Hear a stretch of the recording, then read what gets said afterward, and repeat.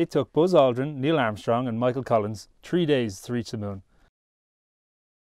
While the closest distance between ourselves and Mars is 300 days.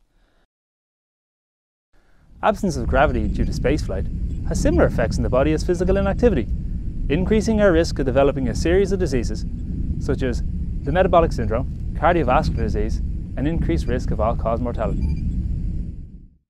On top of this, we see massive reductions in bone mineral density and muscle mass, so much so that upon arrival into Earth, astronauts struggle to exit their space pod and greet their onlooking audience.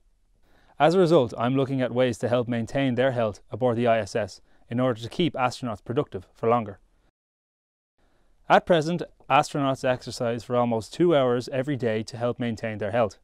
Two hours. That's a bit excessive, right? We are therefore looking at alternatives. By decreasing the physical activity levels of 20 healthy males and feeding them an antioxidant cocktail which we developed.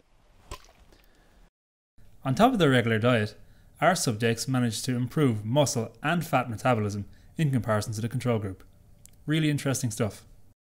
So given the astronauts spend longer than 20 days in space, what effect could this have on longer term inactivity?